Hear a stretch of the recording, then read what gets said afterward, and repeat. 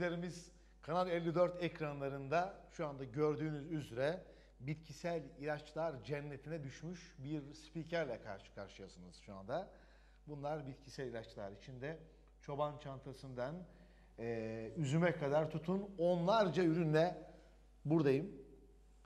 Her türlü tedavi şeklini anlatacağız size. Stüdyo konuğumuz herbalist Sayın İbrahim Gökçek.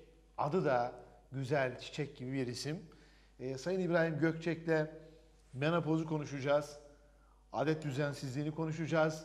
Kısırlığı, kolesterolü, karaciğer yağlanmasını, kalp damarı konuşacağız. Bulantı, kusma, baş dönmesini konuşacağız. Grip, üşütme, nezleyi, bağışıklık sistemini konuşacağız. Bronşiti konuşacağız. Romatizmayı, depresyonu konuşacağız. Az önce etkilerini programın ilerleyen saatinde umarım göreceksiniz ben de. Ben e, başım hakikaten kazan gibi sabahtan beri kaç tane toplantı yaptım. Kaç tane telefon görüşmesi yaptım bilmiyorum dedim. Hemen buradan bir kutuyu açtı. E, İbrahim Bey bu ilacı kullanın dedi. E, program içerisinde rahatladığınızı hissedeceksiniz. Şu anda başımın ağrısı e, yaklaşık 20, bir iki dakika önce içmiştim ilaçları. Programın içerisinde böyle inanılmaz bir ferahlama görürsem size anında hemen bu ilaçların etkisini gösterdiğini söyleyeceğim. Depresyon, diyabet, böbrek yetmezliği, prostat rahatsızlığı, kulak çınlaması, sedef ve egzamayı konuşacağız bu akşam. Sayın Gökçek hoş geldiniz. Hoş bulduk. Nasılsınız, iyi misiniz? Hamdolsun siz nasılsınız? Çok iyiyim, çok teşekkür ederim. Başım biraz ağrıyor. İçtiğim ilaçların etkisi gösterdiği zaman daha iyi olacağım. Yavaş yavaş. Evet. Ee, neler yapıyorsunuz? Nasıl keyfiniz, saatiniz? Hamdolsun işte e, takriben 3 hafta önce gelmiştik galiba. Evet. O günden bugüne çok yeni, çok güzel ürünler ürettik insanlarımızın sağlığı için. Evet. Bunların başında da mesela kadın otu forte. Kadın otu. Kadın hastalıklarında karşı kullanıldığı için kadın otu forte diyoruz. Halk arasındaki ismi Türkiye'de bitki yetişmediği için bitkinin vatanı Amerika Birleşik Devletleri olduğu için Türkiye'de pek bilinmiyor, bulunmuyor. Kara yılan otu da denir. Şurada çiçekleri mum Evet. şeklinde uzun beyaz çiçekleri var. Mum gibi. Mum otu da denir. Mum gibi uzun silindir şeklinde çiçek demeti var. Bunun kökü kara yılana benzediği için kara yılan kökü denir. Latincesi Cimici racamosa. Cimici racamosa Latincesi ne işe yarıyor bu bitki? Bu bitkiyle ilgili yapılan klinik araştırmalarda başta Almanya olmak üzere birçok ülkede yapılan klinik araştırmalarda adet kesilmesi yani menopoz nedeniyle ortaya çıkan alınganlık, aşırı sinirlilik, baş ağrısı, baş dönmesi gibi psikolojik rahatsızlar, ateş basması gibi bayanlarda gözüken rahatsızlara karşı dünyada en etkili bitkidir. Kara yılan kökü. Alman İngilizcesi black e, kohuş. Kara yılan kökü veyahut da mum otu. Türkçe biz buna daha güzel bir isim kadın otu. Neden? Çünkü kadın hastalıklarına birebir. Dünyada en etkili. Bununla ilgili birçok Alman firması yüzlerce bununla ilgili damlatılacak kapsül üretiyorlar ve insanlar üzerinde denenmiş menopoza giren bayanlar, genellikle bayanlar e, 45-55 yaşlar arasında menopoz devresi başlar. Yani adet kesilmesi dediğimiz durum ortaya çıkar. Bu durum hormon anormallikleri nedeniyle bazı bayanlarda çok büyük rahatsızlıkları tetikler. İşte bu tür rahatsızlara karşı biz kadın otu forte diye çok güzel ve özel bir bitkisel ürün ürettik, formül geliştirdik. Bunun birleşimde kadın otu kökü ekstraktı, oğul otu ekstraktı, lavanta ekstraktı, efendim çarkıfelek ekstraktı gibi 19 çeşit bitki ekstraktı içerir. Kişi bunu kullandığında menopoz devresine giren kişi kullandığında kısa sürede rahatlar, psikolojisi düzelir ve bu devreyi, kritik devreyi çok kolay atlatır. Almanya'ya gitmiştim. Bir tanıdığımı ziyarette. Yani orada olan bütün insanlar hastalıklarından bahsettiler, bahsettiler. Size şu gerekir, size şu gerekir vesaire dedikten sonra evin hanımı dedi ki sizinle özel görüşmek istiyorum. Buyur dedim. Bir odaya. Buyur özel görüşme. Buyur. Dedi ki rahim ve yumurtalıkları alınmış. Hormon anormallikleri nedeniyle kadıncağızda böyle ateş basıyor, geriliyor. intihar dahi etmeyi düşünüyorum. Abdestli namazlı bir insan. İntihar dahi o kadar büyük bir depresyon yaşıyor ki. Yok yok panik yok dedim. Çok kolay tedavisi. Kara yılan otunun kökünden elde edilen bu kadın otu forte her türlü menopoz iyileştirecek yüzde yüz etkili bir ürün. Burada zaten birçok Alman firması bunun damlasını, derecesini yapıyor. Yüzlerce firma Almanya'da. Biz Almanlardan daha kalitelisini ürettik. Kara yılan kökü. Kara yılan otunun kökü. Kara yılan kökü, evet. Korkunç bir ismi var bunun. Kara yılan kökü. Biz bunu kibar, kibarlaştırdık. Ne dediniz buna? Kadın otu forte. Yani bu yılan kadına nasıl dönüştü anlamadım. Kökü yılan, yılana benzediği için kara yılana kara yılan kökü denir. tamam siz bunu kadın olarak nasıl değiştirdiniz? Kadın hastalıklarını iyileştirdiği için kadın otu. Daha kibar bir isim. tamam. Daha güzel bir isim. Çünkü kullanan şahıs kara yılan kafasında kötü bir çağrışım yapmasın diye kadın otu. Tabii şimdi bizim e, izleyicilerimizin şu anda en çok merak ettiği şey e, şu anda hakikaten bundan sonra programlarımı ben böyle bu bitkisel ilaçların önünde yapayım. Hakikaten ekrana da çok güzel yansıdı böyle çiçekli böcekli ilaçlar. Değerli izleyicilerimiz 281 1122 telefon numarasından bizlere ulaşabilirsiniz. Canlı yayında sorularınızı Herbalist İbrahim Gökçe'ye sorabilirsiniz. Doğru mu efendim? Doğru. Doğru. Şimdi tabii kış aylarına girdik, havalar soğumaya başladı. Nezleler, gripler, soğuk algınlıkları en çok sormak istediğimiz sorular burada. Bu alanda ben aklıma bu sorular geliyor. Ee, ve izleyicilerimizin de böyle düşündüğünü sanıyorum. Evet. Efendim soğuk algınlığına karşı, nezleye, gribe karşı ne yapacağız, ne kullanacağız? Grip, üşütme, nezle gibi rahatsızlara karşı çok güzel bir bitki var. Nedir ismi? Nedir? Ekinezya. Ekinezya Kızılderililer tarafından çok eskiden beri 4000 yıldır bilinen, kullanılan bir ürün. Ekinezya'nın yaprağı, çiçeği, kökü tamamı kullanılır. Evet. Ekinezya'nın çiçeği böyle bakıra benzediği için bakır otu da denir. Tiken gibi bu tohumları. Veyahut da kipri otu da denir. Kipri otu. Kipriye benzediği için Bildiğimiz kirpi yani böyle evet, bakın. kirpi otu da denir. Şimdi bu ekinezya ile ilgili uyarılar gördüm ben bu hafta televizyonda. Bu ekinezyayı dikkatli kullanın. Bu dozla ilgili bir e, yanlışlık yaparsanız sıkıntı çekersiniz diye televizyonda gördüm. Çok güzel de bir kokusu var. Öyle mi? Ee, bir ha- televizyon haber mi gördünüz? Evet. Hafta çok- sabah çok enteresan. saatlerinde bilgisi, bilgi şey bitkisel programlar var orada bitkilerden bahsediliyor. Bu arada bir canlı yayın konuğumuz varmış. Buyurun. Kiminle konuşuyoruz? Alo. Hayır efendim. Efendim kiminle konuşuyoruz? Hüseyin Mert. Hüseyin Bey buyurun sizi dinliyoruz. Posat, porastat, porastat üzerinde 20 senedir çekiyorum. Alo. Evet, dinliyoruz. Prostatla ilgili He. 20 yıldır sıkıntınız var. Doğru mu efendim? Evet. Evet. Ee, hangi aşamadasınız? Doktora gittiniz. Doktorlar ne söylediler size bununla ilgili? Efendim 15-20 sene evvel küçük dediler biz o büyük kanıkları ameliyat ediyoruz dediler. Şimdi de ondan sonra masada kalır diye ameliyat etmiş yapmıyorlar. Bu şekilde kendi kendime bir ilaçla bu şekilde e, e, bitkisel çayla kendimi idare ediyorum o şekilde. İhtiyaca girdiğim zaman bu şekilde yani bir saat ihtiyaçta kalıyorum. Yatıyorum, kalkıyorum, tekrar bir saat gidiyorum, tekrar bir saat kalıyorum. Bir saat kalıyorum ihtiyaç yerine. Bu Kaç yaşındasınız Hüseyin Bey? 80 yaşında. 80 Sorunum bu. 80 yaşındasınız. Evet, Evet, ihtiyaca girdiğiniz zaman bir saat kalıyorsunuz. evet. Ee, doktorlar ameliyat edilirse masada kalacağınızı söylediler. Evet. bitkisel ilaçlarla hayatınızı devam ettiriyorsun. Doğru mu anladım Evet, efendim? tamam. Tamam efendim. Soruları ben hocamıza soracağım. Çok teşekkür ederim. Evet. Mevlam şifa versin. Hayırlı uzun ömürler dileriz efendim size. Evet. Kapatayım telefonu. Efendim çok teşekkür ederiz. Evet, iyi akşamlar. Evet. Evet. İzah edeyim mi? Tekrar anlatmama gerek var mı efendim?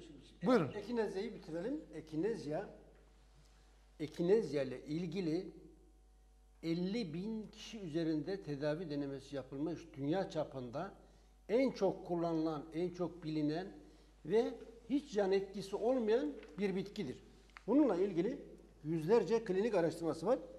Mesela ben bununla ilgili dergi de getirdim. Burada Almanca bir dergi. Sizin Almancanız da var değil mi İbrahim? Ee, Almanya'da kaldım ben kendim 29 sene.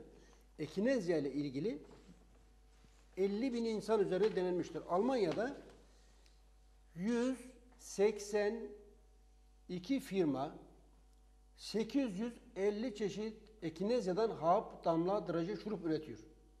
182 firma 850 çeşit hap, damla, draje üretiyor. Dünyada en çok çeşit çeşit damla draje kapsül üretilen, satılan bir ürün. Almanya'da doktorlar hastalarına, özellikle çocuklara, bebeklere üşütme, grip, nezle de ekinezya yazarlar. Ekinezyadan elde edilen damla, draje, şurup yazarlar. Türkiye'de birisi çıkıyor diyor ki ekinezya zararlı. Neye göre zararlı?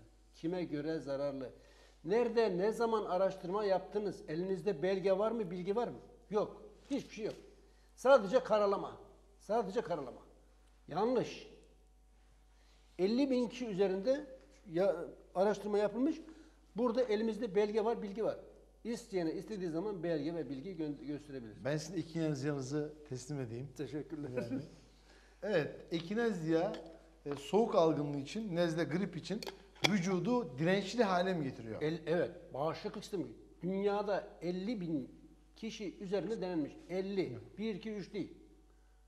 Ve Almanya'da bu reçetesi yazılıyor. Doktorlar yazıyor. Artık orada çocuklara, Avrupa'da, Asya'da, Amerika'da çocuklara, bebeklere antibiyotik verilmiyor. Antibiyotik yok. Ne veriliyor? Bitkisel şuruplar veriliyor. Ekinezyadan, ıtırdan, kekikten, naneden elde edilen. Türkiye'de hala birileri çıkıyor diyor ki o şöyle zan tesiri var. Ya neye dayanıyor? Klinik araştırma mı var? Belgen mi var? Bilgin mi var? Kasıtlı söylüyorlar. Niçin söylüyorlar? Bu iş Türkiye'de gelişmesin. Bazıları bu işten rant sahibi olanlar ranta devam etsin. E, şu konuyu tam bitirememiştik. Yani menopozla başladık değil mi? Evet, menopoza orada bir adet kesilmesi var. Oraya giremedik. Şey, adet düzensizliğine giremedik. Evet, bu menopozda e, orada kadınların yaşadığı stresi azaltan bir durum mudur bu ilaç? Burada nedir? Şimdi- Menopozu geriye mi atar? Tam olarak ne yapar? Yani bayanlardaki iki tür rahatsızlık var. Bir, yaşı nedeniyle menopoz devresine girenler. Yani Bu normal. Buna, buna ne yapıyorsunuz siz? menopoza giren bayanlarda aşırı alınganlık, sinirlilik, Tamam. gerginlik, baş dönmesi, baş ağrısı. Bu tür rahatsızlarda dünyada en etkili bitki nedir? Kara yılan kökü. Evet. Veya kadın kara otu. yılan kökü. Kadın otu. Diğer adıyla kibarcası kadın otu. Kara yılan kök, kara yılan kökü Evet. kötü bir çağrışım yaptığı için kadın otu diyoruz basitçe. Latincesi Cimicu fugara camosa. Fakat kadınlar için bir bitki daha var. O da nedir? Hayt. Hayt'ın özelliği biraz farklı. Hayt adet düzensizliği veyahut da adet öncesi ağrı, sancı, sızı, gerilim, strese sebep oluyor. Bazıları adet dönemine yaklaşırken bir iki gün başlıyorlar psikolojik olarak geriliyorlar. Sıkılıyorlar, bunalıyorlar vesaire strese giriyorlar. Bu tür rahatsızlığı olanlar için de hayıt bu hayıt bitkisinden elde edilen burada örnek veriyorum mesela Buyurun. Profesör Doktor e, Feldman, Profesör Doktor Dittmar, Profesör Doktor Libil, Profesör Doktor Welter. Ben burada yüzden fazla dünya çapında bu bitkiyle ilgili yapılan klinik araştırmalardan bahsedebilirim. Yüzlerce. Bunlar klinik araştırması yapmışlar. Permenstrüel sendrom yani adet öncesi ağrı ve sancısı olan bayanları tedavi etmişler. Klinik araştırması var. Belge var, bilgi var. Hayit Forte diye biz bununla ilgili çok güzel bir çalışma yaptık. Böyle adet öncesi ağrı sancısı olanlar, gerilenler vesaire strese girenler için çok çok etkili ve hiç yan etkisi yok. Tamamen doğal. Türkiye'de yetişiyor. Almanlar bunun damlasını derecesini Adet yapıyor. sancısı için. Adet öncesi ağrı, sancı, sızı, gerilim, stres. Adet ağrıları, adet düzensizlikleri vesaire düzenleyici. Hatta son yapılan araştırmalarda Parkinson'a dahi iyi geldiği belgelenmiştir. Almanya'da Göttingen şehrinde yapılan üniversitede klinik araştırması var. Belge var, bilgi var. Hüseyin amcaya cevap vermemiz lazım. Hüseyin Aha, amca evet, onunla ilgili- 80 yaşında prostat olmuş 20 yıl önce ameliyat edilirse masada kalacağı söylendiği için ihtiyaca gittiği zaman bir saat ihtiyaçta kalıyor. Sıkıntı çekiyor. Sonra tekrar gitmek zorunda kalıyor. Hüseyin amca prostatla ilgili nasıl bir ilaç kullanabilir? Ne kullanması lazım? Ne öneriyorsunuz? Prostata karşı 3 çeşit bitki var. Çok çok Evet. etkili. Nedir? Nedir bunlar? Cüce palmiye dediğimiz Zabal zeroluta. Cüce palmiye. Sokaklarda gördüğümüz yelpaze şeklindeki palmiyenin küçük kısa boylu olanına cüce palmiye denir. Bunun meyvesinden elde edilen ekstrak, ekstraktan damla tıraşı yapılır. Prostat, neden prostat büyümesi olur? Prostatın içerisinde iki enzim var. Reduktaz ve aromataz. Bu iki enzim erkeklik hormonunu, testosteronu, kadınlık hormonu estradiole dönüştürür. Yani prostatın içerisinde erkeklik hormonu azalır, kadınlık hormonu yavaş yavaş artarsa prostat büyür. Bununla ilgili Almanya'da e, toplam yüzden fazla klinik araştırması yapılmış ve 60 bin kişi üzerine denenmiştir. Evet. Ye- yelpaze palmiyesinin meyvesinden elde edilen damla drajelerle iyi huylu prostat büyümesi tedavi edilmiştir. Artı yakutu ve ısırgan kökü. Şimdi mesela bizim elimizde bir rapor var. Burada bir beyefendi de hastaneye gidiyor ve hastanede biyopsi yaptırıyor. Biyopsi sonucunda prostatında bir, prostat kanseri, iki, prostat büyümesi, üç, prostat iltihaplanması, dört, prostat lezyonu yani yarası oluşmuş. 10 noktasından biyopsi alınmış, prostatının 10 noktasında da farklı farklı bir 10 çeşit hastalık ortaya çıkmış. Doktorlar prostatın alınacak çünkü çok kötü durumdasın demişler. O da korktuğundan ameliyat olmak istememiş. Oğlu internetten araştırmış, bulmuş, geldi bize ne yapılabilir? Bizde Zabal Forte isimli çok güzel bir kapsülümüz var. Burada bir olması lazım. Zabal Forte. 3 ay kullandıktan sonra tekrar doktoruna gitti. Burada gördüğünüz gibi şimdi burada total PSA'sı 6.22. Bizim Zabal Forte'yi kullandıktan sonra 3 ay sonra total PSA'sı 4.8. Ve 6 aydır kullanıyor şimdi 3'e düştü. Yani gayet normal. Hiçbir problem yok. Prostatı eğer ki kişinin şöyle bir tedavi yöntemi daha var. Çok çok büyümüş de. Mesela Silivri'den bir beyefendi geldi bana. Prostatı 100 gram olmuş. 100 gram ne demek? Bir portakal kadar. Çok çok büyümüş. Acil ameliyat. Ama adamcağız korkudan gidip ameliyat olamıyor. Böyle oturamıyor. Şişmiş her taraf. Dedim problem değil.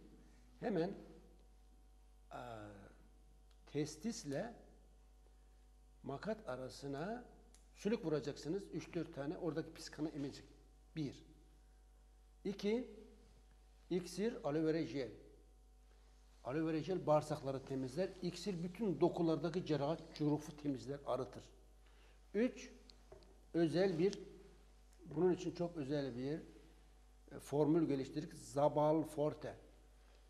Bunu kullandığınız zaman iyileşirsiniz dedik. Vatandaş kullandı, yavaş yavaş iyileşti. Kendisi Silivri'de bize teşekkür ediyor. Yani prostat ne kadar erken problem teşhis edilirse tedavisi de o oranda hızlı olur. Yani bizim söylediğimiz burada klinik araştırması, belge var, bilgi var. Yani Almanya'da yapılmış. Özellikle Almanya'da kaldığım için oradaki klinik araştırmalarından bahsediyorum. Şimdi bir klinik araştırması yapılmış. Yüzden fazla klinik araştırması yapılmış. 60 bin kişi üzerine denenmiş deyince çok basit gibi geliyor. Fakat bir klinik araştırması ne demek? 50 kişinin 3 ay hastanede kalması, bir kişinin Almanya'da bir gün hastanede kalması 5000 euro.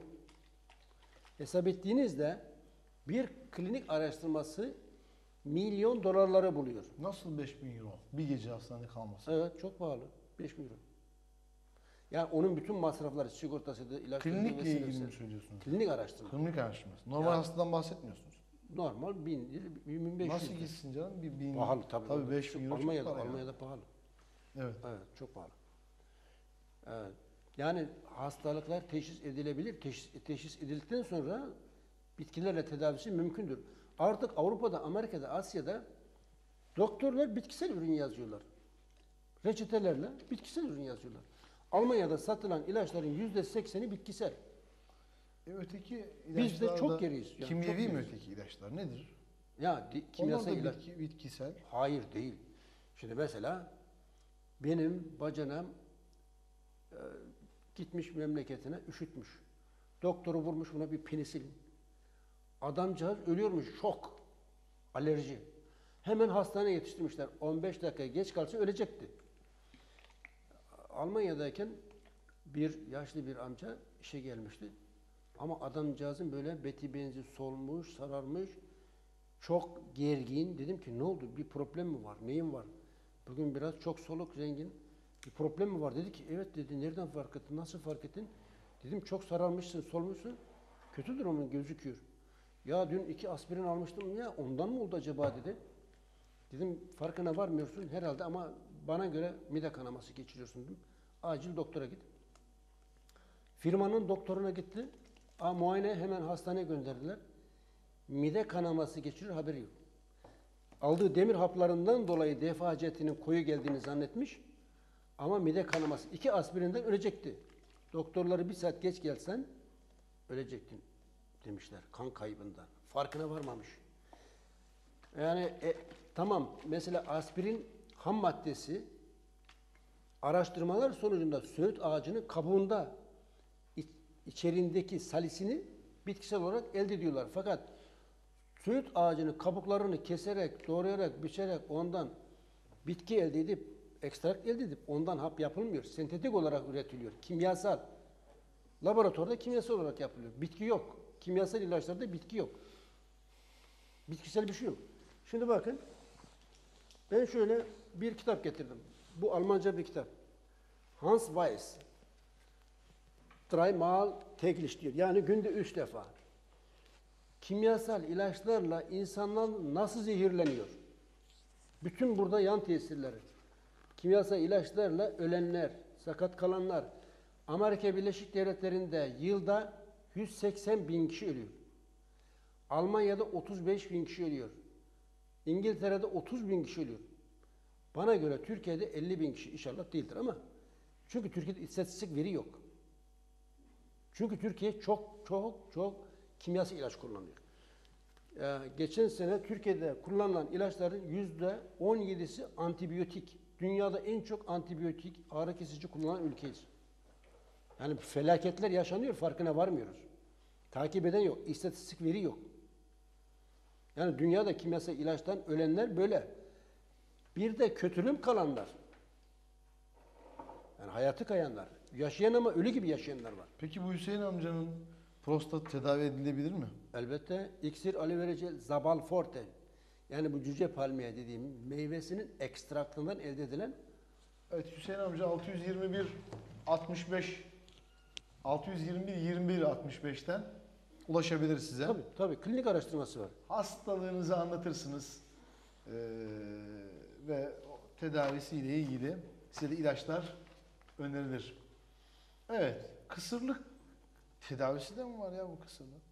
Evet elbette her şeyin tedavisi var. İki gün önce bir bayan beni aradı Emin Hanım. Hocam sizden Allah razı olsun dedim. Ne oldu dedim.